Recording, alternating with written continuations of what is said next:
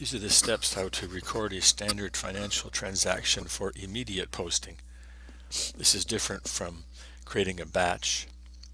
This could be used for making a one-off reclassification journal entry, for example.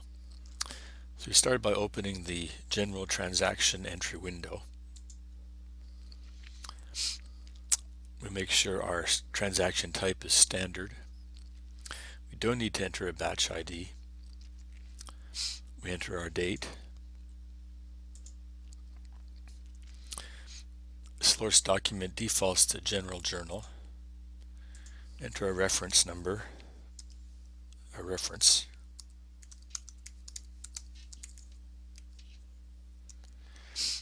Enter a currency ID which defaults to US and enter your accounts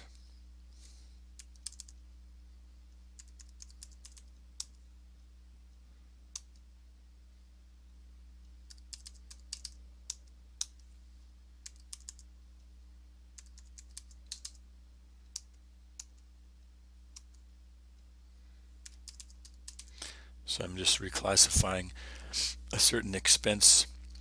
By clicking the chevron here, you can see the detail lines,